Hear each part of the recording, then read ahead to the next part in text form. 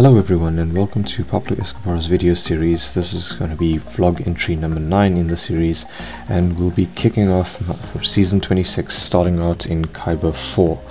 This is going to be quite a challenging season. I don't really expect any great things. I'll be lucky to just pick out one or two wins here But uh, more likely than not, I'm probably just going to drop down to Aurodium, which is fine. The roster does need quite a lot of work anyway. So we started out our round one against an opponent named Millstone, and we opened up with this original Kylo versus the Old Republic team.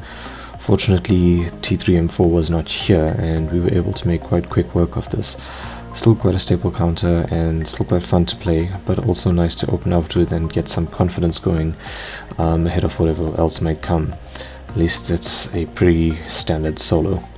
So we were able to pick up 69 banners here and went into the second round with the Traya lead against the Geos.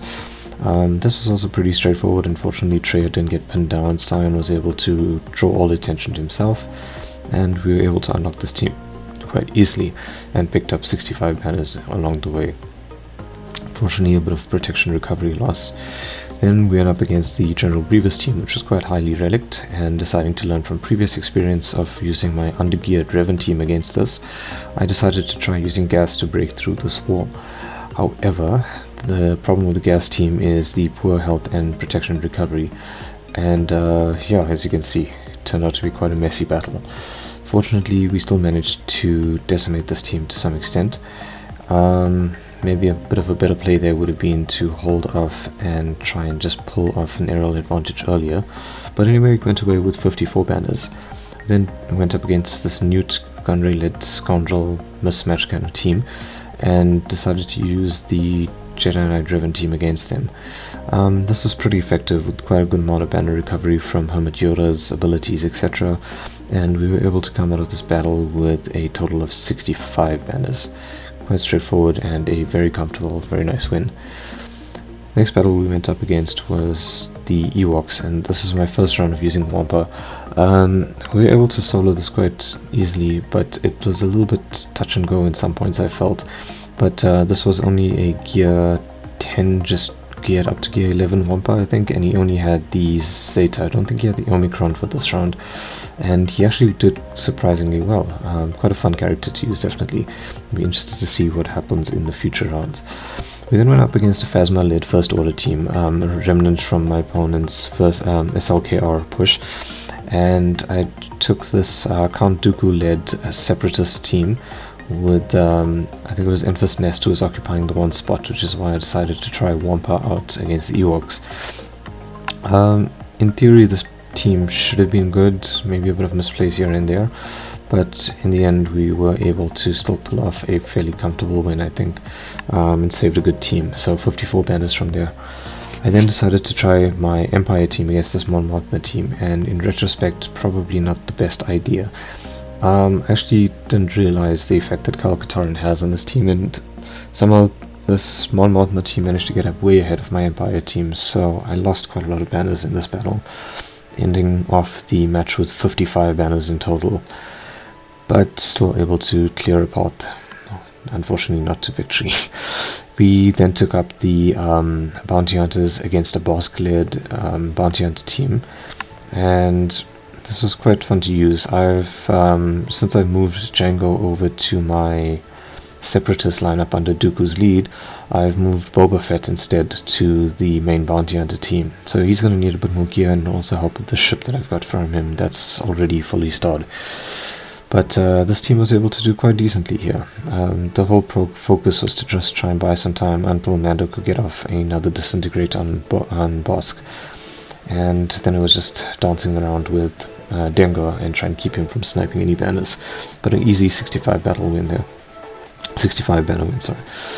We then tried this mismatched Jedi team up against this um, Admiral Ackbar rebels and um, unfortunately the shortcoming of this team remains that there isn't a consistent damage dealer. So I thought I would add um, Vedhan, but um, against a little bit of a more synergized team, unfortunately, we were only able to pick up one banner for taking on one guy. Then I decided to bounce back a bit with the Imperial Troopers against this Bastila-led Jedi team. Um, pretty easy, pretty straightforward. Um, there was a moment in this fight where I was thinking maybe I should have targeted Jolee first, but it worked out and we came away with 65 banners. Then circled back and decided to clean out this Ackbar team with my Padme team. And perhaps that might have been a bit of a better option rather than trying to go for glory and trying to um, see if we could undergear, underman that team. We then started out round 2 against um, opponent Torsen Bondra. Um, here we managed to pick up a score of 822 against a score of 1090 and unfortunately conceded a second round um, of this first week. So opened up against this General Grievous team using my Jedi Knight Revan team and we were able to pull off a win um, but it was a bit dicey in some points especially because it took a while for Grievous to come out from stealth Fortunately, the Savior was able to proc in time and keep Jolee from dying. Um, then it was about trying to keep Jedi Knight Revan alive till he could get a turn so he could circle around to the Grievous. Once Grievous dropped, then it was just a matter of trying to recover as much banners as we could.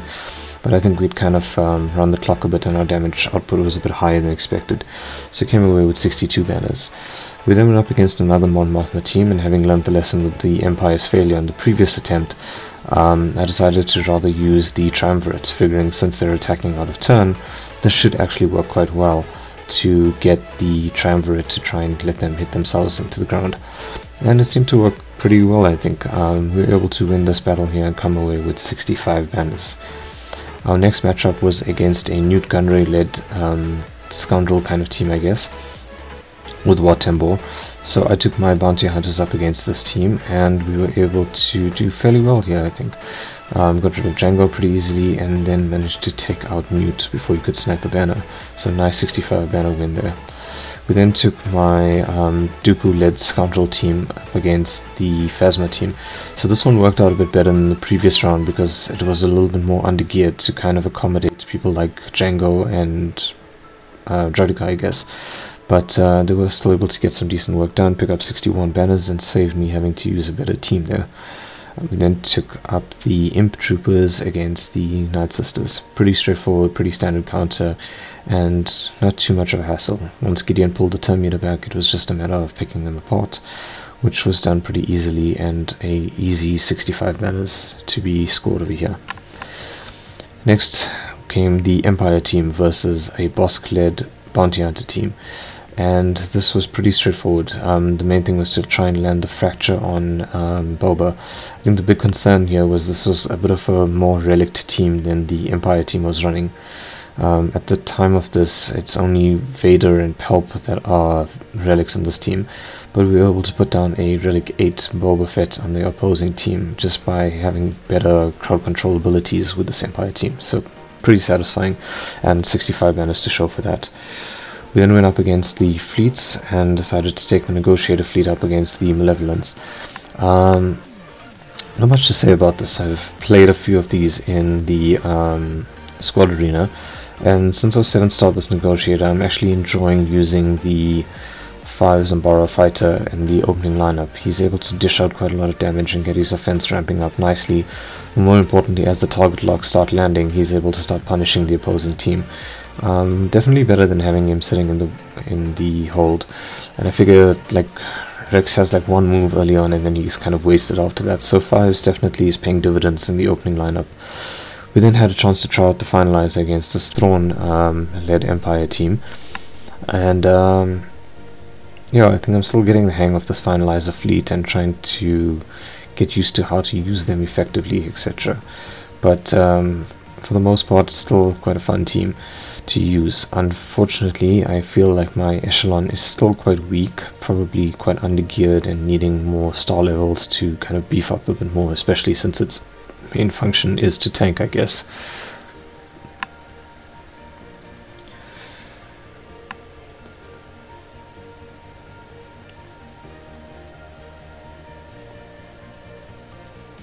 So for now, until the um, TIE Echelon is able to come online and be able to soak up more hits, I'm using the TIE Bomber to kind of be a bit of an absorber and try and keep some heat off of the TIE Silencer. Unfortunately, when Thrawn got his insta-kill, he took out two of my ships, left me in a little bit of a sticky situation, but fortunately the two fighter pilots were available and able to break through the rest of that fleet and net 56 banners. Um, and we then ended off with this Padme Cat's team against a Kylo Ren unmasked. I think it was a Relic 7 team, yeah. So, not too difficult, but just a little bit tedious to work through and netting 63 banners in the process. I then decided to like, just throw a Hail Mary and see if my General Anakin Skywalker could do something against this Jedi Master Luke. And uh, unfortunately the answer was no, he could not. His um, damage output was pretty decent, and, and I think a General Anakin Skywalker can beat a non-ulti Jedi Master Luke.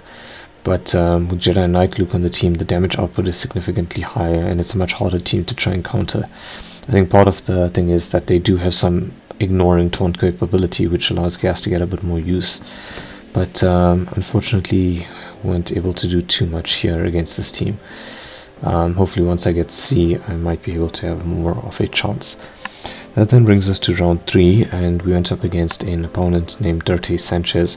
This was the only win of this week unfortunately and we managed to pull a score of 1106 against his score of 1021. So we opened up with this Geo fight. Unfortunately they were able to pin down Traya quite early and annihilate her. mind the pun. But we were able to still clear a win and claim 62 points. I then took the Imperial Troopers up against a Finn-led resistance team and managed to pick out um, a 65 point win. Once the turn meter was pulled back, this team really doesn't get another chance to do anything. So, really enjoying having this Gideon at quite a high speed at the moment. Um, I think it's close on to 360 or so, which is pretty handy to have in my back pocket.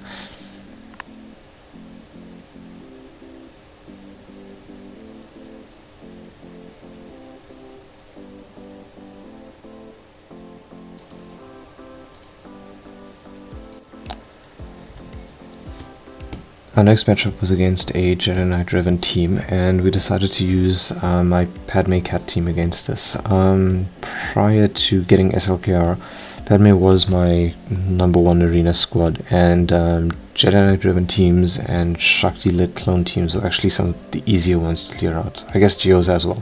So that seemed like a pretty easy picking and we were able to come away with 64 banners there. Then took Nest out for a hunting party against a familiar Ewok foe, and we were able to comfortably clear a win here. Fortunately, no dazes from Logray, despite his multiple attempts, so Enfys Nest was able to keep hammering off counter attacks and ramped up damage quite nicely as the battle went on, and eventually picked this team apart after the Elder Ewok fell. So a pretty comfortable 68 banner win that we were able to net from Enfys Nest's one woman crusade against the murder bears.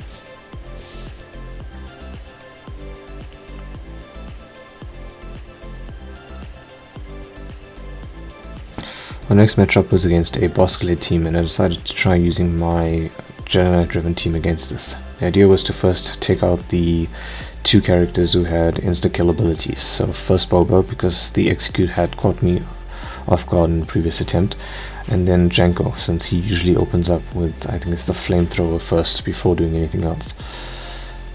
Once they were out then Dengar is obviously going to be hiding constantly. Was so we decided to take out Greedo and then go down for Bossk, and Dengar lost. Fortunately able to come away with 65 banners there. We then decided to take this Empire team out against the Phasma team and um, just basically got ahead on turn meter and locked down this team and kept them behind constantly with Mara Jade and Palps. So pretty good win here from my undergeared Empire team. Um, but as the gear is being advanced slowly, it seems that Mara Jade and Shore Trooper are the only two that are really lagging behind. But um, hopefully that will change in a bit of time. So that was a pretty straightforward battle. We then decided to try and go for a big one here and use General Anakin Skywalker against this Rey team. Unfortunately, my Twitch malfunctioned and did not record the rest of the battle, so just taking a screenshot here of um, that battle. It's a single win with Rey um, using General Anakin Skywalker into 501st and we were able to come away with 60 banners. Pretty interesting, pretty exciting and very fun and um, very triumphant feeling win. The remaining three backwall teams I went up against was a Night Sisters, which we 65 bannered with the Bounty Hunters, a Veers-led Imp Trooper team, which we took out with a Dooku mismatch team and cleared 63 banners, and Wampa was able to improve further and get 69 banners against the Phoenix team. But for a lot of this Kyber 5, it feels like Obi-Wan.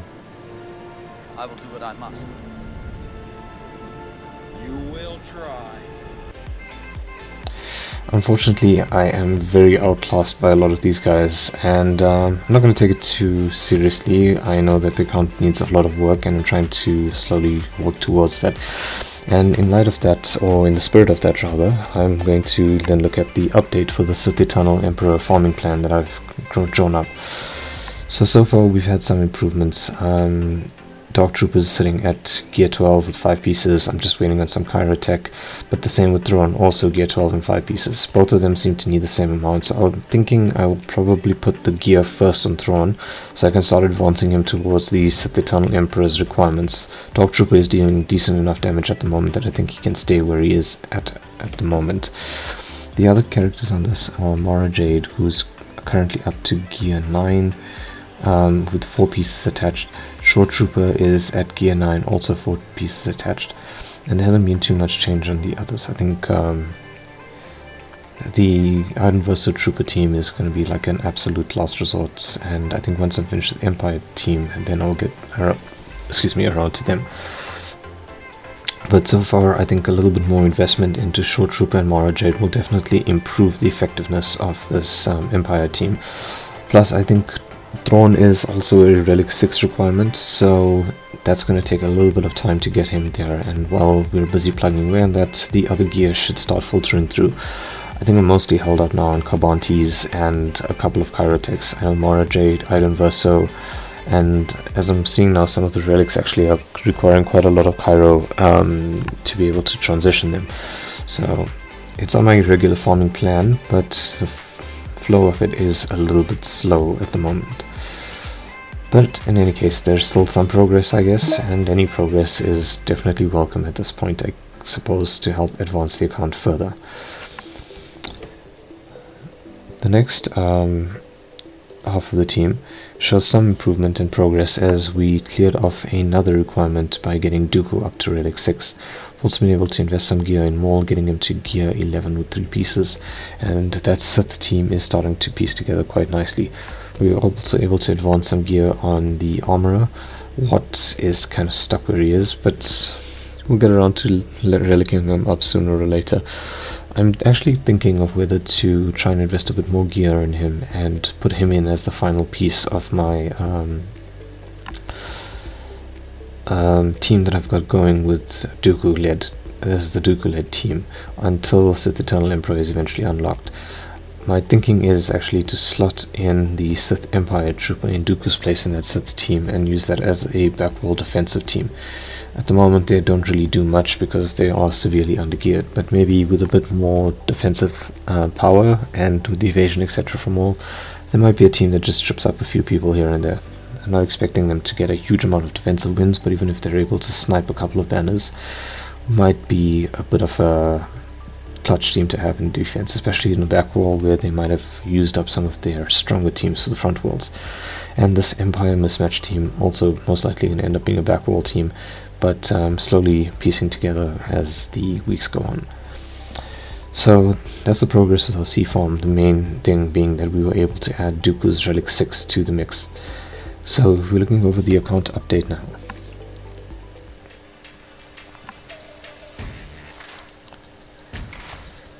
So there's been quite a bit of decent progress in the account over the past few weeks um, since the last round of Grand Arena. I've invested quite a lot and um, Darth Loquitur recently published a video that I really took under consideration or advisement and used to formulate a plan in improving the account.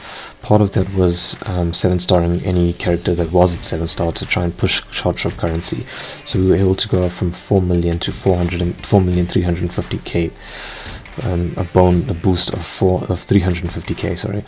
Currently, we don't have an active relic farm, but our gear 13 projects currently are Thrawn at gear 12 plus five pieces. stock Trooper at the same, and Wampa who's at gear 12 plus three pieces. Um, he'll be needed eventually for Jedi Knight Luke, but just all around a pretty fun solo character to use. Our Gear 12 project is Darth Maul at Gear 11 plus 3 and Stormtrooper at Gear 11 plus 5. Energy forms currently are the Armorer, Cara Dune, Resistance Hero Finn, and the two ships that have been here forever basically, the IG-2000 and the Vulture Droid. The Zeta Foe this past week was given to Mara Jade for Infiltrate and Disrupt, and the Omicron went to Wampa for the Cornered Beast, so hopefully we'll have some fun footage to show of that in the week um, 2 update that's coming out soon. So that's pretty much it for the account update part. With regards to the shopping plan, from 7 starring a whole lot of characters, we were able to push in, I think it was up to 40k shards in the shard shop that we've been using to buy up relic pieces wherever we can to try and expedite the relic progression. Um, and that's what basically helped with getting Wampa up to those three pieces very quickly. So our store currency is still being used for gear and mostly Carbantis to try and ease that since most of my characters are currently locked on a Carbanti bottleneck. The squadrena currency is being relocated now for prestige materials to try and push through the finalizer and saving up for that. I'm about 10 shots short of 7 starring that as well. The get 1 currency has been used for clutch buys just to finish off any purchases I need and get 2 we are now starting to focus on the malevolence which is currently at 6 stars 23 shards and shard shop we are just plugging away at that. So that's it for this week's account update. Thanks so much for watching and if you guys did enjoy this please feel free to leave a like, comment and subscribe to the channel if you want more to see more updates and if you have any advice, feedback etc please feel free to leave it below.